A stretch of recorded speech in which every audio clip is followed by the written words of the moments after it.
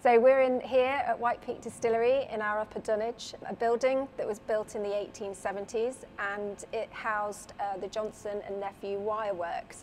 Back in the 1870s, around about 500 people were working on this site, producing various cables, wires that ended up being shipped all around the world.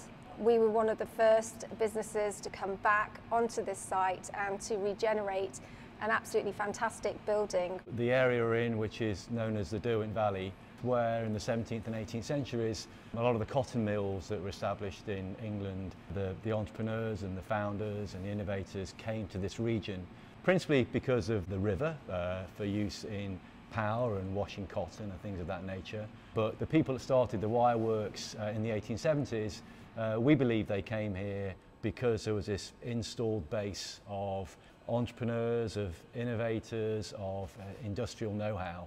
And that actually was a, a large part in why the Wireworks was so successful for 120 years.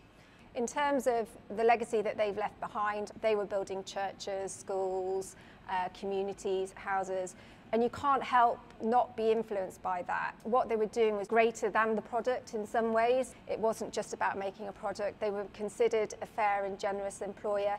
And I think for us, the more research that we did about this place and who's been here before, it really just made sense. You know, this was going to be a great place to make whiskey, another great product, build on that manufacturing base that we have here in the Midlands and in Derbyshire. But also, we wanted to do some community projects. So we do a litter pick four times a year and people attending those litter picks get a share in a community cask that we laid down very early on.